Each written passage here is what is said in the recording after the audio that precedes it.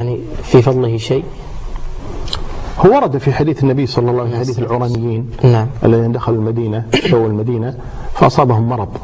نعم. فأمره النبي صلى الله عليه وسلم يشربوا من أبوال وألبان الإبل. فشربوا فشفوا. وهو نعم فيه علاج. نعم. نعم.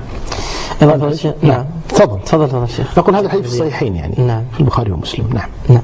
أيضا فضل الشيخ رسالة تقول إرضاع الطفل إذا كان عن طريق عن طريق الشفاطات كما ذكرت ليس أن يلتقم الثدي هل هو محرم؟ نعم نعم. لا فرق. نعم. لا فرق بين الإرضاع المباشر من الثدي أو الإرضاع بواسطة كأن تشفط له في إناء مثلا وتلقمه إياه. نعم. كل هذا يحرم ويؤثر. ولكن آه، قضية التعلق بالثدي هذا قد تعطيه أيضا شيء من الحنان نعم. غير قضية ال- الحليب نفسه أما الحليب نفسه الذي يكون لأن أحيانا الأم نفسها يعني إذا كانت موظفة أو كذا يعني يسأل كثير من النساء أنها تحلب لولدها بالليل نعم. من صدرها حتى إذا قام الصباح وهي خارج البيت يعطى من هذا الحليب الحليب، نعم. الذي حلبته له فلا يضر كله يحل نعم سواء الحكم سواء يحرم نعم نعم ثابكم الله فضل الشيخ محمد. آه، أخ محمد الشمري من الكويت يقول آه، إذا ابتلي شخص آه، كان بعض أهله آه، من أهل المعاصي أو من أهل الشرك نعم. آه، يعني غير مسلمين كيف آه، يكون التعامل معهم والدعوة؟ آه، أولا نقول له أحبك الله الأخ محمد. قضية آه، كيف يتعامل معهم يعني هو ينظر في حال النبي صلى الله عليه نعم. وسلم النبي صلى الله عليه وسلم أول ما بدأ الدعوة. نعم. ما في أحد على الإسلام. إلا هو صلوات ربي وسلامه عليه. في. نعم هناك بقايا على دين أهل الكتاب كورقة بن نوفل وزيد بن عمرو بن نفيل. نعم. طيب لكن من حيث الدعوة النبي بدأ واحد وحده وحده صلى الله عليه وسلم. الصلاة والسلام. ومن يعيش بين أكنافهم على الشرك. وظل يدعو يدعو يدعو واستمر. ثم لما أسلم أصحابه كذلك الأمر.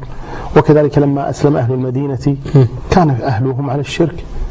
وظلوا يدعون حتى نشر الله تبارك وتعالى هذا الدين. لابد من الصبر. لابد من الحكمة. لابد من العناية بهؤلاء الأهل. هؤلاء لهم حق علينا. نعم. غير حق الأب والأم كبر. غير حق الإخوة والأخوات كبر. أو صلة رحم. أيضا لهم حق علينا في حسن المعاملة في الدعوة إلى الله تبارك وتعالى. لأن هذا سيتعلق برقبته يوم القيامة. يقول ربي رآني على الشرك أو رآني على المعصية أو رآني على البدعة ولم يدعني ولم يناصحني ولم يذكرني. فأنا أقول أصبر واجتهد في الدعوة إلى الله تبارك ولكن يركز على أمور. أولا أن يكون قدوة حسنة. في نعم. البيت يعني لا لا يمكن ابدا أن أكون فاقدا لحسن الخلق ثم أدعو إليه، إن فاقد الشيء لا يعطيه. لابد أن يكون قدوة حسنة في البيت. نعم. من حيث بره بوالديه، من حيث صلته لإخوانه وأخواته، من حيث صدقه، من حيث آه، بذله للمال. يعني كل هذه الأمور حقيقة لابد أن يكون قدوة. ف- غدا إذا دعا ونصح وذكر ما يملكون عليه شيئا، لا يستطيع أن يتكلموا عليه بكلمة. نعم. فلا بد أن يكون قدوة حسنة في البيت، هذا الأمر الأول. الأمر الثاني لا يقصر ابدا في الدعاء لهم في ظهر الغيب. أن يهديهم الله تبارك وتعالى، سواء كانوا على الشرك أو البدعة أو المعصية. يدعو لهم بظهر الغيب، وهذا من حقهم عليه. اللهم اهدهم، اللهم سددهم، اللهم ارهم الحق حقا وارزقهم اتباعه وهكذا. طيب الأمر الثالث أن يدعوهم بالحسنى. وأنا لا أنصح ابدا أن يدعوهم جميعا.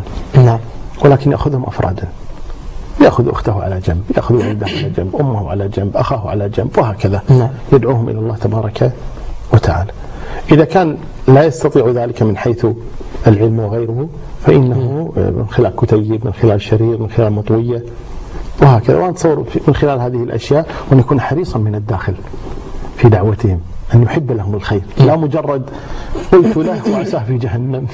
لا قلت له وعساه في الجنة. يعني يدعوهم مخلصا صادقا في دعوته لهم. طيب هذا الشيخ قد يسأل أيضا السائل يعني يقول الع- ال- العيش في ظل هذا ال- البيت وظل هؤلاء الأهل هل يؤثر على دينه التزامه إسلامه؟ هذا يرجع إلى كل شخص بعينه. نعم. فإذا شعر أنه يؤثر فيه وأنه يضعف نعم. خلال تواجده عندهم ويملك أن يخرج فيخرج. وأما إذا شعر أنه لا يؤثر فيه الله الحمد والمنة مم. ولكنه متضايق فقط. لا نقول يستمر ويبقى عندهم يستمر في الدعوة الله ولا يتركهم للشيطان بل لابد أن يكون عونا لهم على الخير. نعم. نعم. إذا فضل الشيخ سالي يقول آه، بعض الجرائد يعني تضع آه، الصور الفاضحة وذكر عن ال- الفضائيات آه، نعم. بعض الأمور التي تخالف الشريعة. يقول كثرة الذنوب والمعاصي. أو ال- الابتلاء الابتلاءات التي تحصل للإنسان هل بسبب كثرة الذنوب والمعاصي في مثل هذه الجرائد أو هذه القنوات؟ هو لا شك يعني هذا هذا باب من باب من أبواب المعاصي. نعم. لكن ليست هذه فقط هي المعاصي. أولا يجب على الإنسان أن ينظر في حال نفسه هو. آه، مشكلتنا أحيانا أننا دائما نلقي اللوم. غير الآخرين نعم وإن كان الآخرون قد يكونون ملامين نعم على بعض ما يقع يقع منهم من الأمور، لكن أيضا يجب علينا أن ننظر في حالنا نحن، هل نحن أيضا مقصرون؟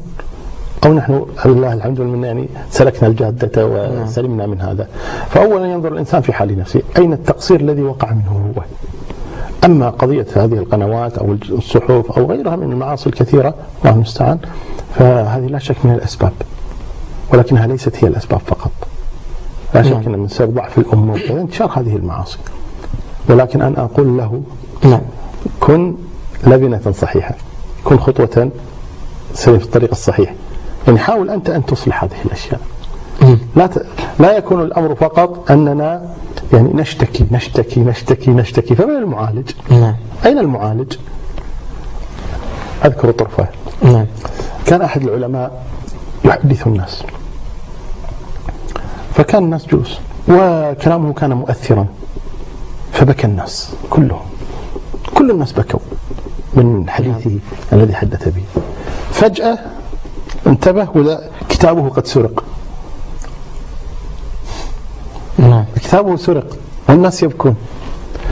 فبدأ ينظر في وجوه الناس لعله أن يكون بينهم السارق نعم. السارق مستحيل يبكي الآن. لأن هؤلاء متأثرون.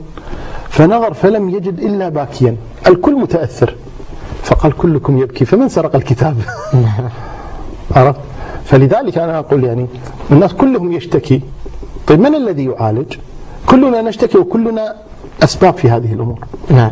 يعني أنا أضرب مثالا يعني حيا حقيقة. الآن بنوك الربا. يشتكي كثير من الناس من وجود الربا. وجود الربا. نعم. ربا ربا ربا موجود والربا موجود والربا موجود. أنا أقول نحن أسبابه. لا أقول نحن أقصد أنا وأنت. ولكن المجتمع بشكل عام. لماذا؟ لأن هذا البنك الربوي قائم على ماذا؟ قائم على أموالنا.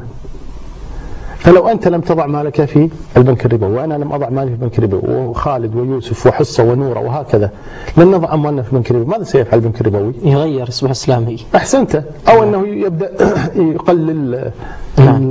خلينا نقول الأفرع.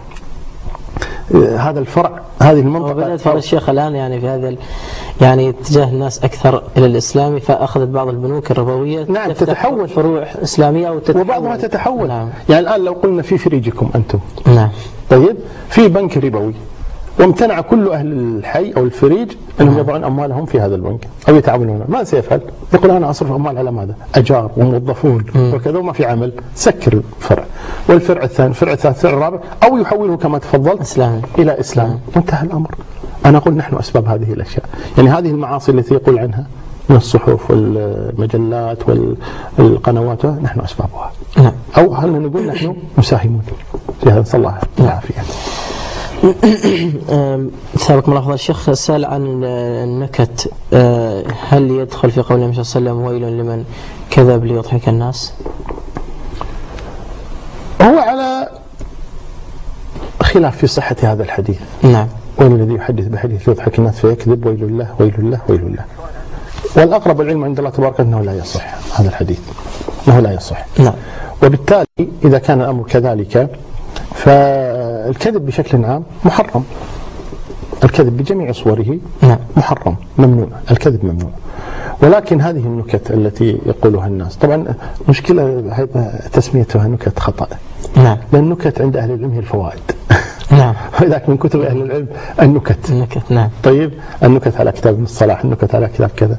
فالنكت معناها الفوائد طيب لكن الآن إحنا عندنا الطرائف وال نعم. هذه نسميها النكت. على كل حال ال- هذه أو ما يسميه الناس اليوم بالنكت وكذا أحيانا لا شك أنها تكون محرمة يكون فيها استهزاء وسخرية بالناس. نعم. خاصة على أجناس معينة.